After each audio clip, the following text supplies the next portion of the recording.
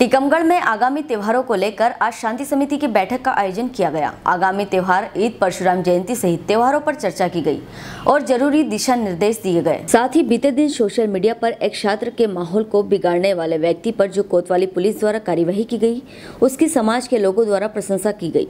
साथ ही पुलिस द्वारा भी आश्वस्त किया गया कि जो भी व्यक्ति शहर में सोशल मीडिया या शहर का माहौल खराब करने का प्रयास करता है, उस पर वैधानिक कार्यवाही ज़रूर की जाएगी।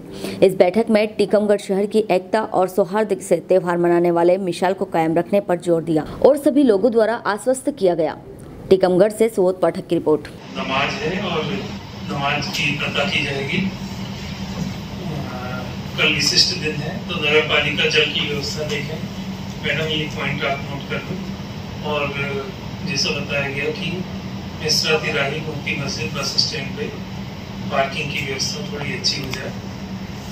ईद की व्यवस्था बेहतर से बेहतर बनाने का प्रयास किया जाए। सुबह सवा आठ से नौ बजे तक ईदगाह पे नमाज़ की जाएगी। पानी की व्यवस्था, विद्युत की व्यवस्था और एक ये जो आवारा मवेशी के स्थल बताए गए, इनमें विशेष ध्यान दें, अभियान चलाएँ, अपनी पूरी शक्ति लगा के